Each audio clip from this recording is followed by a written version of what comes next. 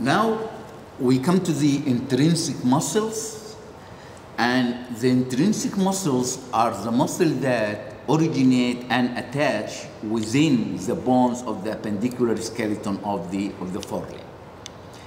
Now, before we start dissecting these muscles and understand their function, very key points you must understand to be able to comprehend the function of each muscle. The first thing that we gonna start with is the flexion angle of the joint of the forelimb.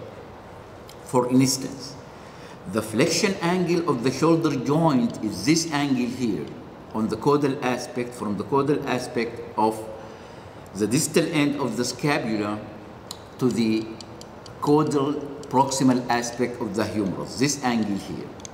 This is the flexion angle of the shoulder joint, which means every time this angle gets smaller, it is flexion.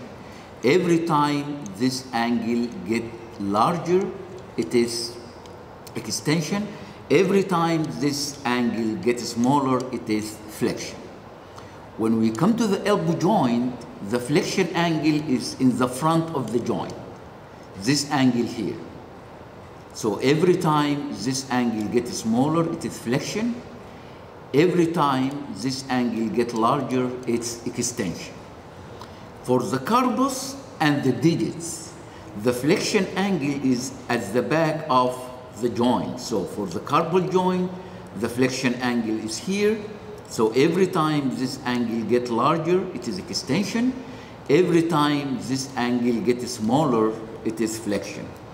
For the digital joints, it is the same. The flexion angle is on the caudal aspect of, of the joint. So for the forelimb, the flexion angles are for the shoulder, it is on the caudal aspect of the joint. For the elbow joint, it is on the cranial aspect or in front of the joint. For the carpal joint, it is at the back of the joint. For the digital joint, also it is at the back of the, of the digital joint. Let us simulate that. Let me move this apart. Okay. Let us look at this. Okay. This is the right forelimb. Okay. This is the flexion angle of the shoulder joint. So every time this angle gets smaller, it is flexion. Every time this angle gets larger, it is extension. So depending on the action of the muscle, we look when the muscle contracts, it will tend to do what? If it's reducing the angle, it is a flexor. If it is increasing the angle, it's an extensor. Okay?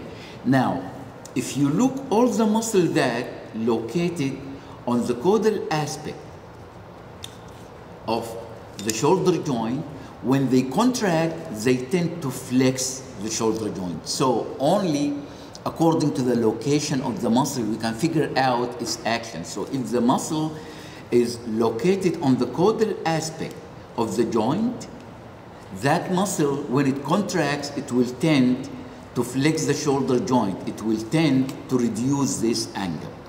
And all the muscle that located in the front or cranial to the shoulder joint, those muscles, when they contract, they will tend to extend the shoulder joint. So flexion and extension. When we come to the elbow joint, we said the flexion angle is located in front of the joint. So every time this angle gets smaller, it is flexion. Every time this angle gets larger, it is extension. So every time the radius and ulnar, the antebrachium, when it moves away from the humerus, it is extension. When they move close to the humerus, it is flexion. That's why all the muscles that insert on the olecranon tuberosity, they tend to move the antebrachium away from the humerus, so they are considered extensors of the, of the elbow joint. And all the muscles that attach to the cranial aspect of the antebrachium, they tend to reduce this angle, so they are flexors of the elbow joint. When we come to the carpal joint and the digital joint, we say this is the flexion angle. So every time this angle gets smaller, it is flexion. every time this angle get larger, it is extension. So all the muscle that located at the caudal aspect or at the back of the carpal joint and the digital joint, when they contract, they tend to flex this joint. And all the muscles that located on the cranial aspect of this joint, when they contract, they tend to move the forepaw cranially so they extend either the carpal or the digital joint. So again, the flexion angle is key to understand the action of the muscles. The flexion angle of the shoulder joint is at the back of the joint. The flexion angle of the elbow joint is in front of the joint.